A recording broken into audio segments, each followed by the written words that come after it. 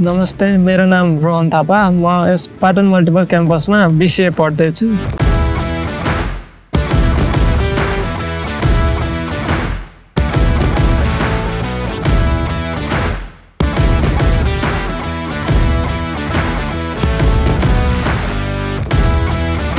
मैले चाहिँ यो एक्सपी किनेको तिन महिना जति भयो मलाई चाहिँ यसको पावर अनि लुक्सहरू चाहिँ राम्रो लाग्यो। पावरफुल स्कुटर चाहिरहेको थियो मलाई त्यही भएर मैले एक्सपी लिएँ मैले स्कुटर चाहिँ एक्स्ट्रा पावर एक्स्ट्रा माइलेज र एक्स्ट्रा फिचर भएको चाहिँ स्कुटर लिएको यसमा चाहिँ more than twenty voice command छ जसले हामीलाई इजिली लोकेसन नेभिगेट गरिदिन्छ। यो चाहिँ स्मार्ट कनेक्ट स्कुटर हो जसमा ब्लुटुथ छ जसले हामीलाई कुनै पनि लो लोकेसनमा नेभिगेट गर्न सजिलो हेल्प गर्छ।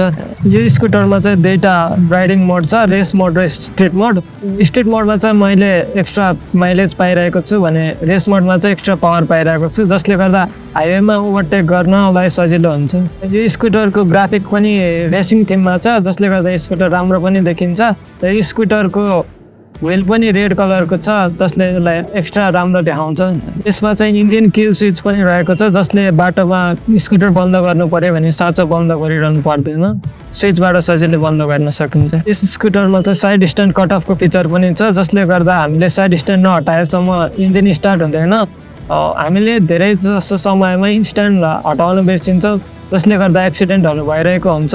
यस फिचरले गर्दा हाम्रो सेफ्टीको हिसाबले पनि राम्रो हुन्छ। यसमा चाहिँ एक्सटर्नल फ्युल फिलिङ क्याप छ जसले हामीले पेट्रोल हाल्नको लागि डिकी खोलिरहनु पर्दैन जसले आफ्नो प्राइभेसी पनि मेन्टेन हुन्छ। यो स्कुटरमा चाहिँ एलइडी हेडलाइट छ जसले रातिको समयमा चाहिँ एकदम भिजिबल बनाउँछ र एक्सिडेन्ट हुने सम्भावनालाई पनि कम गर्छ। यसको सिट पनि एकदम कम्फर्टेबल छ। यो एन्टक रेस एक्सटी चाहिँ डिएस सिक्स एफआई इन्जिनमा रहेको छ। यो स्कुटरको सर्भिस पनि राम्रो छ अनि पार्ट्सहरू पनि इजिली एभाइलेबल छ। I love my XP I am a proud एन्टरकियन